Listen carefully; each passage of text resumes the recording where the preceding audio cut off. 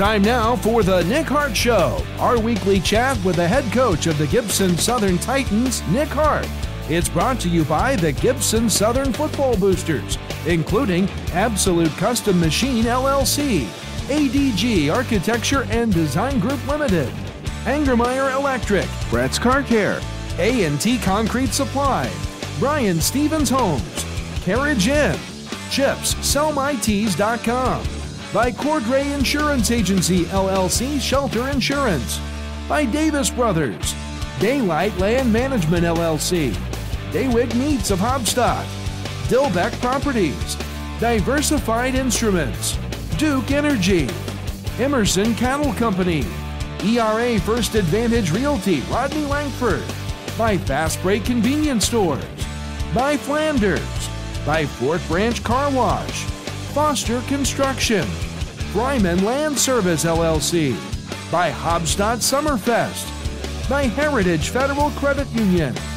Heritage Petroleum, Hillside Gardens Landscaping and Garden Center, HMC Gears, in memory of Darwin and Eric Callis, by Indiana Farm Bureau Insurance Nathan Belote, by Jarbo Tax Service, JMCO Technologies, Johnson Commercial Mowing Incorporated, K&K Excavating Incorporated, Casey Fuquay, State Farm Agent, Kathy Solman Photography, Key Construction Company Incorporated, Kiesel Wagner Survey LLC, by Lively Machine Company, by Landscape Supply Incorporated, Lowry Ag, by Mytech Systems, Morton Solar LLC, by National Vet Health, by Ohio Valley Grain Inspection Incorporated, also by Parker Excavating, Perfect Climate Heating, Air, and Plumbing, by Pole Concrete Construction,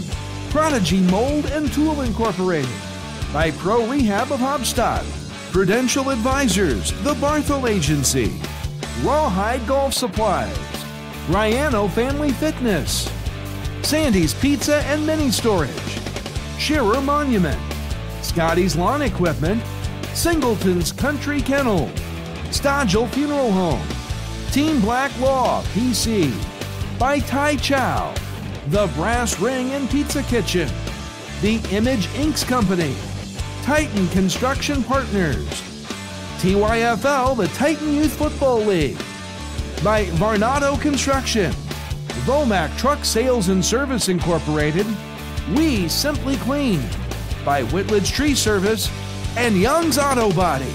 The Nick Hart Show, a special production of the Wabash Valley College Radio, TV, and Digital Media Department.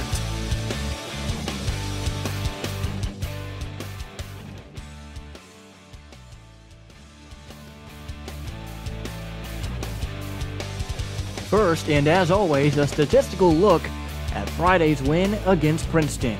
In the rushing game, Zach Foster, 10 attempts, 80 yards and a touchdown. Chase Thaxton, 8 attempts, 42 yards and a touchdown. Number 13, Bo Rose with 4 attempts, 3 touchdowns, along of 11 a total of 22 yards. Gunnar Alexander, 7 attempts, 39 yards and a touchdown.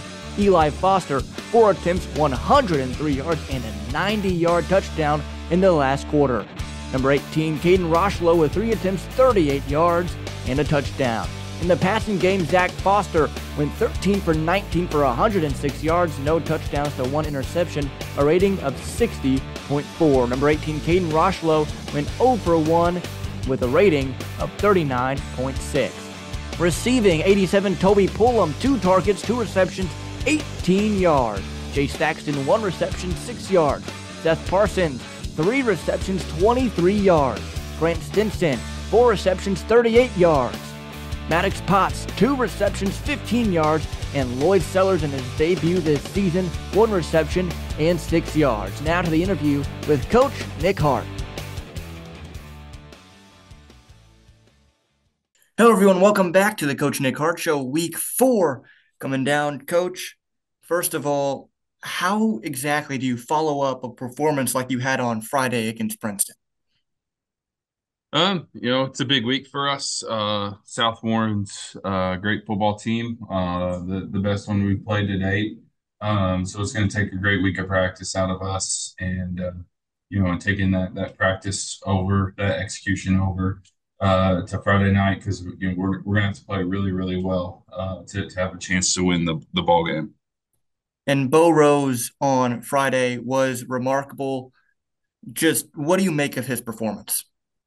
Yeah, um, you know, Bo's a, a, great athlete and football player, and he can do a lot of things for us. So, you know, you kind of look at how he's involved, um, you know, kind of being the goal line back and, and picking up some touchdowns. Um, you know, he's obviously very good defensively, returning all state guy and, and, scored a touchdown on defense and then blocked a punt. So, uh, you know, Bo was was involved uh, positively in, in all three phases of the game, and you know, to be able to have a guy like that that can uh, can do those things, um, you know, certainly helps a, a, football team. And how important is it for him to be in those short yardage uh, situations? And how does that overall help the squad?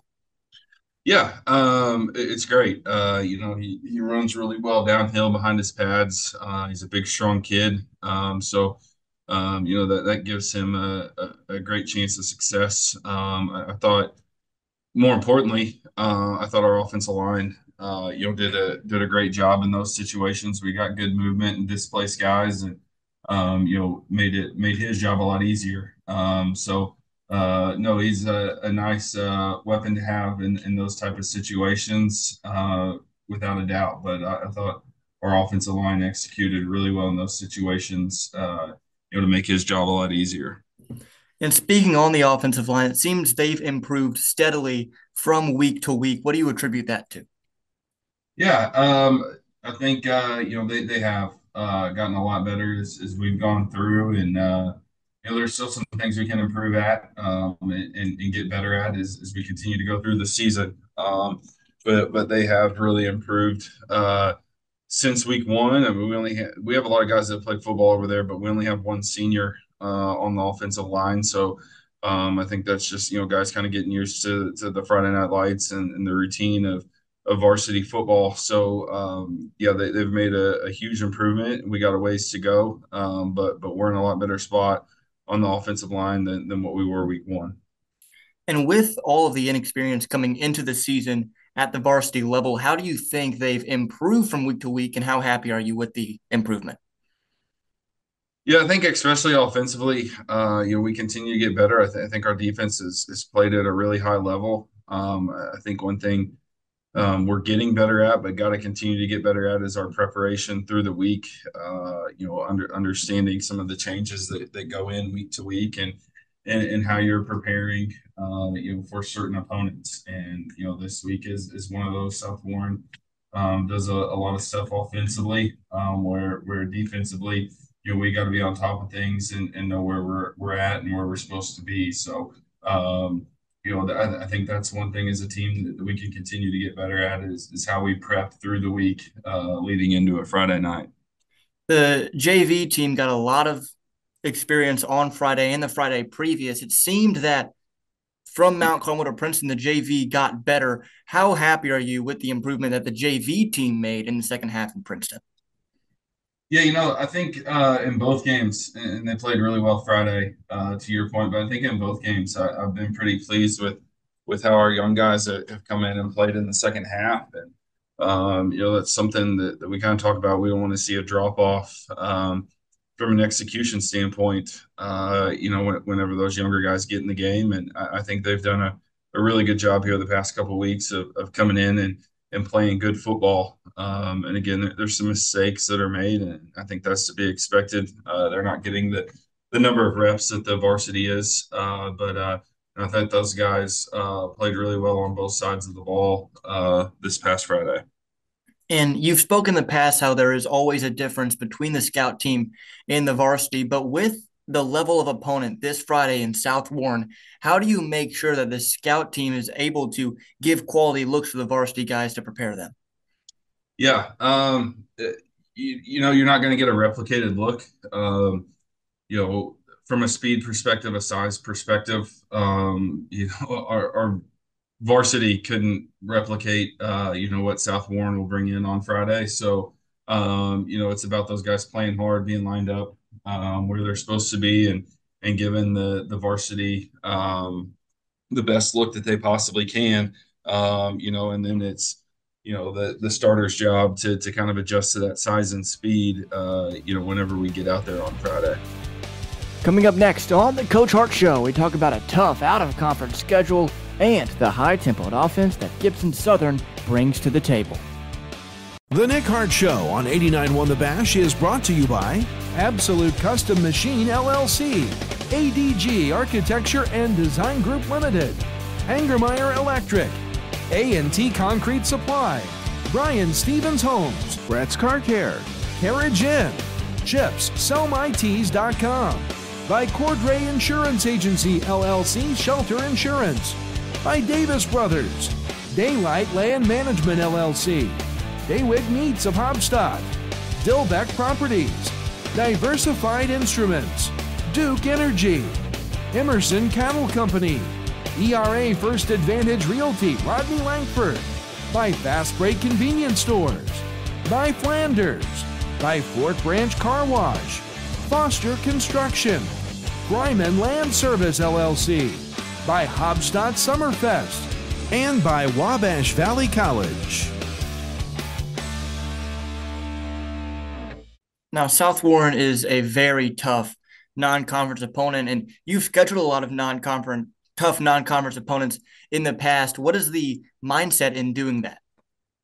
Yeah, I just think uh, you know Danville um, was a prime example. I thought you know we we didn't execute particularly well offensively. Um, there was some things that that we had to fix, and um, when you play somebody like Danville, and I think they're very good defensively, um, that that exposes you um, whenever you're not uh, where you need to be. So um, you know, I think these games are good representation for how you have to prepare. Um, you know, come November uh, to win some of those big playoff games, um, you, you have to prepare at a really high level um, to get ready for that. I think, um, you know, the, the past couple of years, um, whether it be South Warren, Boyle County, uh, some of those type of schools. Um, you know, I think early in my time here, um, sometimes the best athletes we saw uh, was was when we got into the playoffs.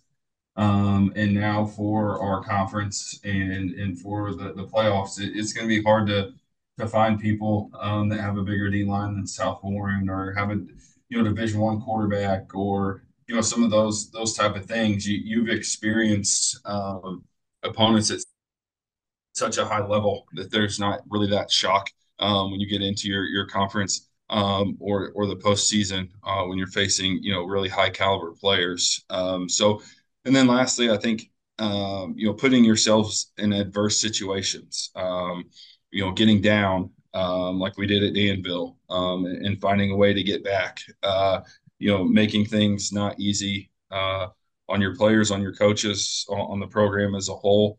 Um, I think all those things can can prove uh, to to be beneficial down the road. And speaking of those adverse situations, how important is it for over the course of the season the players to build a mental toughness in those tough situations? Yeah, it's huge um, because at some point, um, somewhere down the line, things aren't going to go well, um, and I think to have some of those situations where where you've dug yourself out of a hole um, you know, even if you didn't get the win and, and you dug and, and you continue to compete and, and it paid dividends for you. Um, I, I, think all those things are, are very important uh, because, you know, in this game, you know, things aren't always going to go your way. And, and so being able to, to have that mental mindset of, of going to win the next play. Um, and something we talk about a lot is, is whether you won the last play or you lost the last play, go in the next one. Um, and uh, you know, I think that that mindset, um, you know, is, is something that can pay dividends. And this past Friday, it seemed you really upped the tempo against Princeton. Is that something that we should expect to see throughout the course of the year? Uh, yeah. Um, I, I don't know if we necessarily went any faster. I think our drives were longer. Um, you know, they they were trying to keep us in, in front of them. Um, and uh, and make us put together drives so that the tempo may have seemed um, a, a, little bit quicker because we were able to to put together drives. Um, I think we had 21 first downs at halftime. Um, so, but yeah, we we always want to keep that tempo going. Um, you know, we we think it's to our advantage that, that we're close to two platooned. Um, you know, to for games to, to have as many plays as possible. Um, and, and also we we want to make defenses line up and and and try and get their call and get lined up um, as quickly as they can. Now, South Warren, obviously, as we've talked about, is a very tough team. How do you make sure that you guys are ready on Friday for that challenge?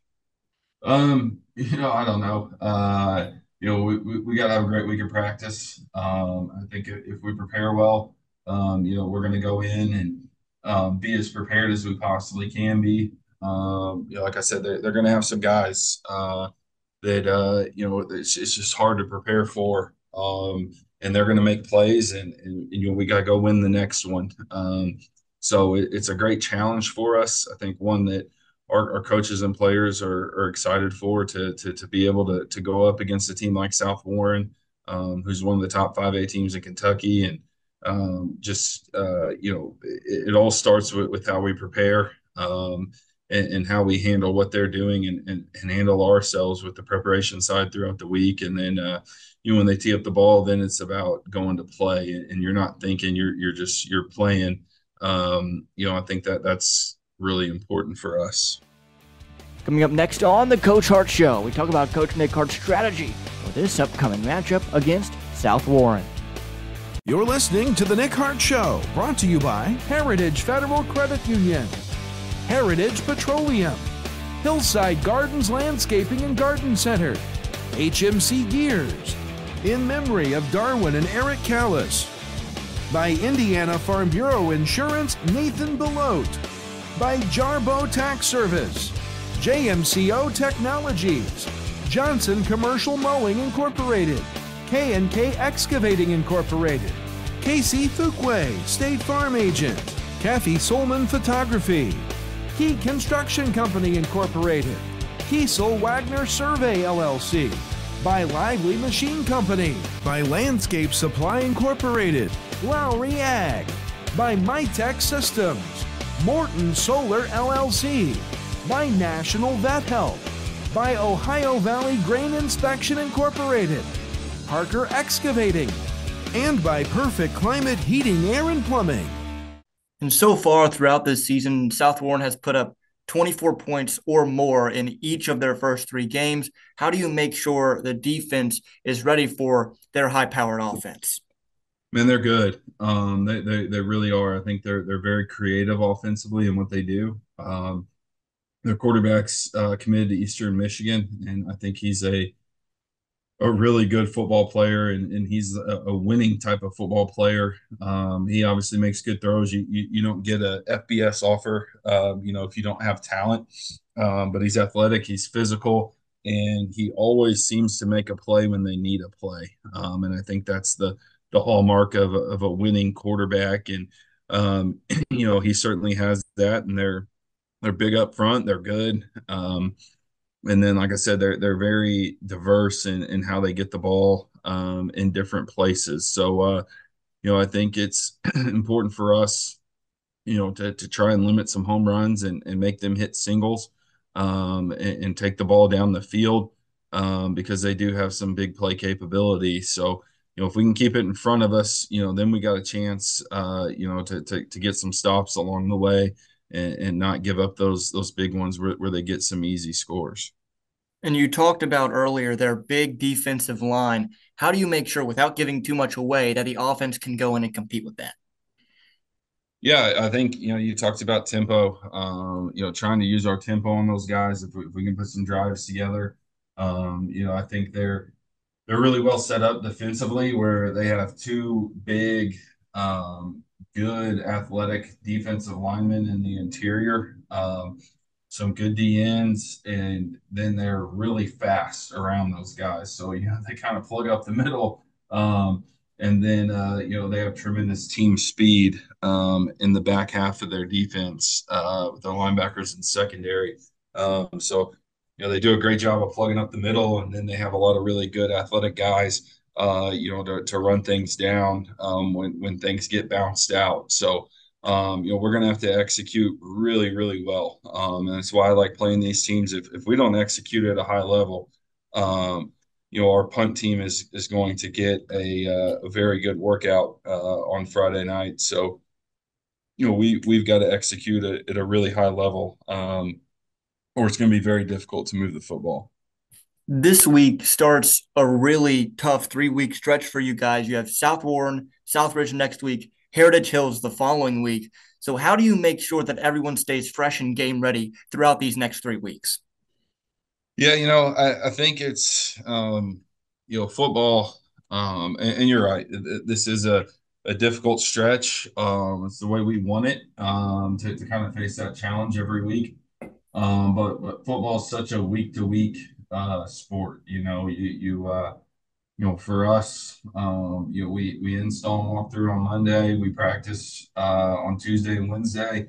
And then you have your your pregame practice on Thursday. Uh, you play on Friday, and then you just kind of rinse and repeat that cycle. Um, so it's so week to week that you know I, I, think, especially when you're playing good football teams, but I think any week it's important to to be focused at the task at hand, um, on your opponent and on yourselves, and, and, what you're doing to get ready for Friday night. So um, we we know there's some big games, some rival games, some really good teams uh, coming down the line. But you know, right now all of our focus is is getting ready for Friday night and, and getting ready for a really good football team that's coming in here.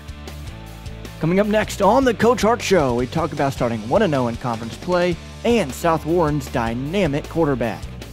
You're dialed in to the Nick Hart Show, brought to you by Whole Concrete Construction, Prodigy Mold and Tool Incorporated, by Pro Rehab of Haubstadt, Prudential Advisors, The Barthel Agency, Rawhide Golf Supplies, Riano Family Fitness, Sandy's Pizza and Mini Storage, Shearer Monument, Scotty's Lawn Equipment, Singleton's Country Kennel, Stodgel Funeral Home, Team Black Law PC, by Tai Chow, The Brass Ring and Pizza Kitchen, The Image Inks Company, Titan Construction Partners, TYFL, the Titan Youth Football League, by Varnado Construction, Vomac Truck Sales and Service Incorporated, We Simply Clean, by Whitledge Tree Service, and Young's Auto Body. Time to go back now to the Nick Hart Show. This past Friday, you started 1 0 in the PAC. How important is it to start off with a win in conference play? Yeah, um, I like winning every Friday, um, but uh, you know, the, the conference um, is you know it's the first championship you can win. Um, you know, I, I would say to us the uh, sectional and, and, some of the postseason stuff, uh, you know, would trump a a conference championship. Um, but I think the conference championship is always important because it's the first championship you can win. Um, so you know, getting off to a one and zero oh start uh, in the league uh, is always great, and uh, you know, a good start, a jump start into the league here. We have two um, out of league games, and then uh, you know the rest of them after that will be conference games. Um, so you know, then you can kind of dial back in and and get ready for all those. But uh, yeah, it, any win is a good win, um, and and so uh, we'll, we'll, take them whether they're conference games or non-conference games, but but yeah, with that being the first championship you can win, definitely good to start one and zero oh in the conference. You mentioned that South Warren's quarterback has an he has an FBS offer. So, do you plan on pressuring him and making him get rid of the football quickly, or are you kind of going to let the secondary do their jobs in the back? You know, um, well, we'd really love to pressure him with our front four, um, and then uh, you know be able to play coverage in the back end. Um, you know, I think they're really good up front. So I'm not sure that, that that's like the the easy solution. Uh, I guess it is the easy solution, but I'm not so sure how how well it'll work. Um, you know, I, I, think he brings another dynamic to it where if you look at him, um, you know, he's a bigger kid, um, thick, tall, um, but he's super athletic, uh, and, and, he does a great job in the run game as well. Um, so you know, I think you always are worried about him uh, taking off uh, and, and, making plays with his legs too. So that that's another part of the equation. Um, you know, he's he's not like Peyton Manning or Tom Brady just sitting back there slinging it around. Um, you know, he has the ability to go make plays with his legs as well. And so I, I think that adds a another you know component to to how you want to to play them. Um, and you know we, we've played against him a couple of times. Um, he started as a sophomore, so this will be our third time playing against him. Um, so he's got a lot of game experience. So I'm not sure, you know, if you're going to trick him, um, you know, but if you roll coverage or you know you give this look or that look. Um, so you know we, we just got to play you know what what we think is best for us and, and put ourselves in, in the best situation possible. Um, you know to to try and get some stops. Zach Foster has a likes to roll out and improvise as well. Do you think he'll be able to improvise as easily as he has been the past couple of weeks against this very good South Warren team? Well, I sure hope so. Um, that that'd be great for us. But uh, you know, I, I think Zach's um, you know ability to on design rollouts or, or plays that he just extends on his own, um, you know, is very difficult to defend. And kind of like I talked about their kid, um, you know, I think there there are two different types of guys when they run the football. Um, but you know, you have to worry about both of them. Uh, you know, taking off with the football, um, even if it's a called pass. So, uh, no, I to answer your question, um, I don't know if he'll do it as easily because they, they have so much team speed uh, on defense. Um, this is probably, um, you know, not probably. This is the fastest defense that that we've played yet this year. Um, so you know they're they're going to close things down um, a lot quicker than what we've seen the past couple of weeks. Uh, so with as easy to answer your question, no. Um, but I think Zach's dynamic and um, can can always you know continue to extend plays for us and, and have a chance to make a good play. With that speed that South Warren has, should we expect to see any trick plays or anything different than what we've seen the past three weeks? Or are you just going to keep it simple? Um, uh, I don't know. I don't know if I want to say that one. Uh, with if Brandon uh, is listening down in Bowling Green, uh, I don't want to give too much away, but uh, you know, for the most part, um, we're, we're we're always going to add wrinkles um, to to what we see on film and and how we want to try and attack uh, a defense. Um, and again, it's kind of like the the coverage thing. Um, you're always trying to put your yourself in, in, your kids, I guess I should say, in, in the best position, um, the best possible position they have to succeed. Um, so, you know, that's why uh, the staff spends so much time watching tape and looking for, hey, if we got in this formation or if we ran this against, you know, this look, um, or we've run this a lot, you know, we want to to counter this our our normal action with this. Um, you know, you're always kind of looking for those wrinkles um, that, that will give you a chance to have success. Um, but with that being said, I think it's important that that all the wrinkles go within your base offense. Um, you know, we're we're not coming out in the the Wing T uh, on Friday. Um, if he's listening, I think he probably knows that. Um, you know, we're, we're not going to change who we are. Um, it's it's really minor wrinkles, um, some that, that fans might not even recognize. Just you know how we're blocking this or how we're lining up to this.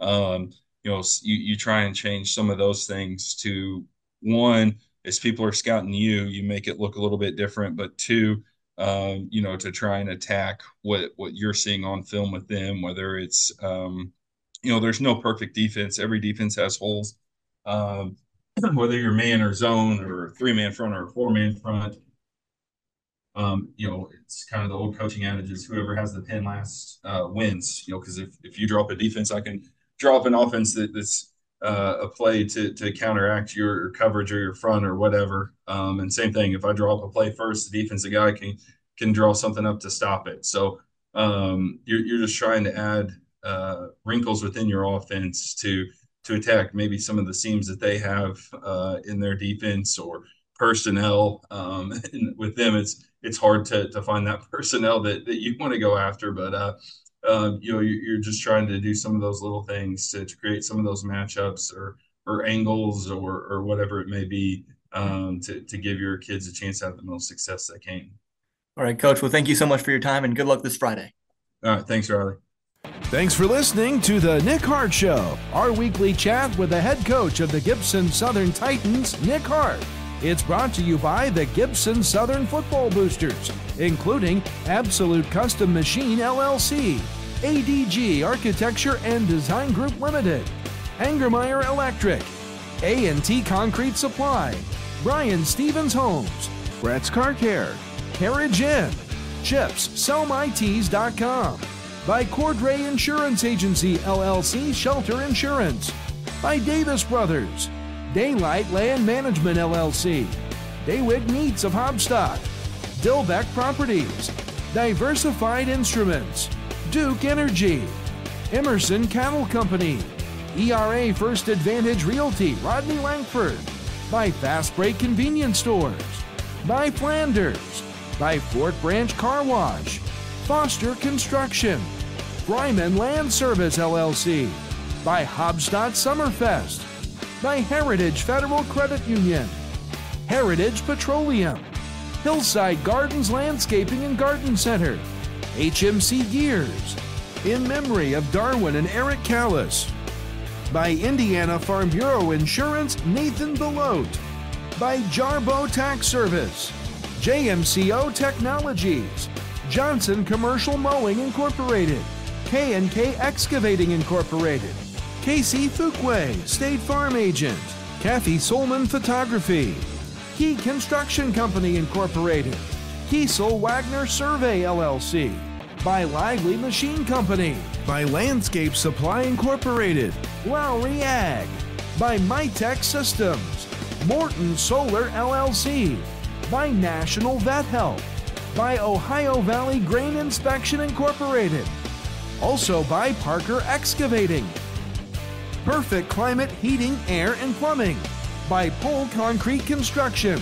Prodigy Mold and Tool Incorporated, by Pro Rehab of Haubstadt, Prudential Advisors, The Barthel Agency, Rawhide Golf Supplies, Riano Family Fitness, Sandy's Pizza and Mini Storage, Shearer Monument, Scotty's Lawn Equipment, Singleton's Country Kennel, Stodgel Funeral Home, Team Black Law PC, by Tai Chow, The Brass Ring and Pizza Kitchen, The Image Inks Company, Titan Construction Partners, TYFL, the Titan Youth Football League, by Varnado Construction, Vomac Truck Sales and Service Incorporated, We Simply Clean, by Whitledge Tree Service, and Young's Auto Body. The Nick Hart Show, a special production of the Wabash Valley College Radio, TV, and Digital Media Department.